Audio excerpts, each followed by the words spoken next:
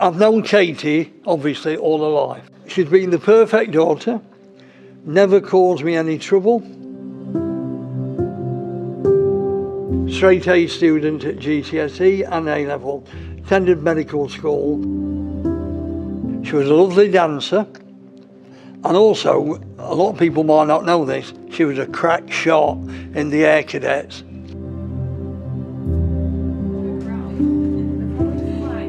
It was obviously our proudest moment for Helen um, and myself when she became a doctor.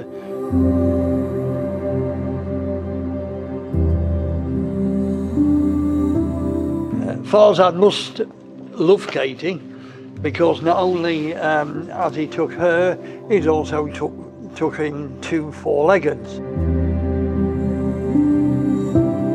We are proud to call him our son-in-law and he's, he's a special person. He's kind, he's gentle and he's shown great loyalty to our family.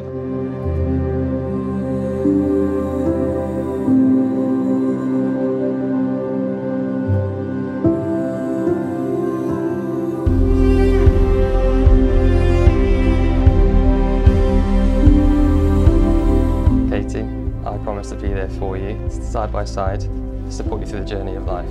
I promise to be there for you in the best and the worst times. I promise to inspire you to dream big and to make you laugh every day and always.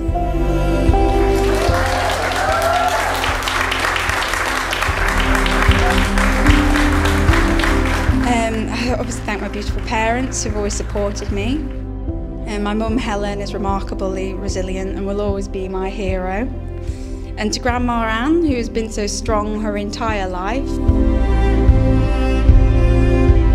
A huge thank you to Fatima for raising such a caring, loving, well mannered, and respectful human in Farzad.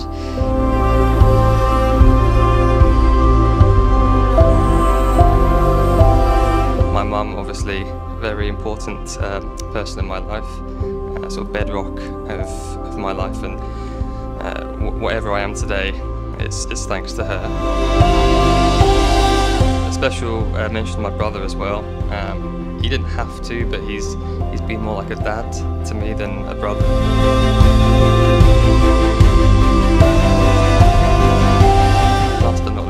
My sister Laylee. She's very caring and she's um, she's wise beyond her years.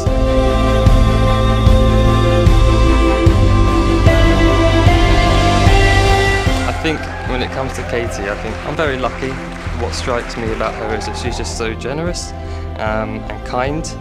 Uh, I think that's what's warmed me to her initially. And I think in a world where there's not a lot of kindness, um, it's quite rare to have someone who is so giving and so kind and so loving.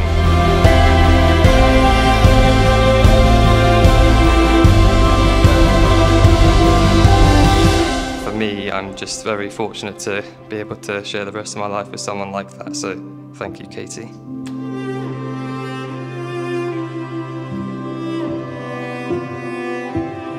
I'm so grateful to Farzad. He keeps me grounded and he's, he's made me a better person and um, I'm very excited for the next step in our lives together.